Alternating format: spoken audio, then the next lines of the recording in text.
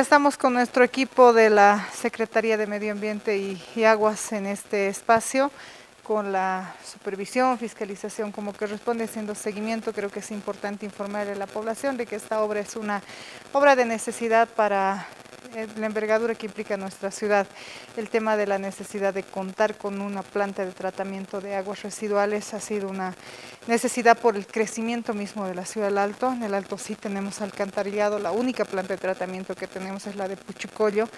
Y esta primera fase tiene un avance del 60% y reitero de que como este, es un crédito eh, que lo hemos tramitado, que lo hemos encaminado durante varios meses atrás. Eh, hoy día está eh, lastimosamente parado en la Cámara de Senadores. Hemos acordado hace unos minutos atrás con el equipo, eh, a la cabeza del ingeniero Barroso, que vamos a mandar una solicitud de reunión con el presidente de la Cámara de Senadores para poder acelerar este documento, porque reitero, cumple con todos los requisitos y lo único que el Estado hace en realidad es ser garante del municipio alteño para poder adquirir este crédito. ¿no?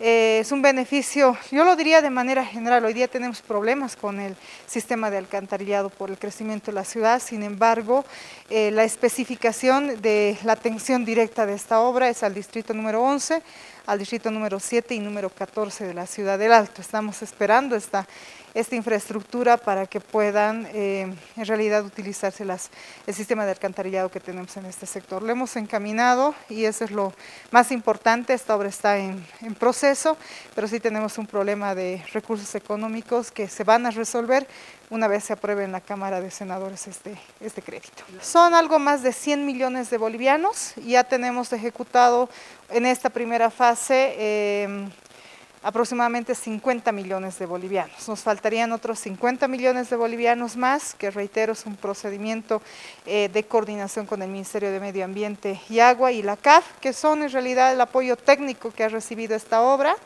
el seguimiento que ha recibido esta obra.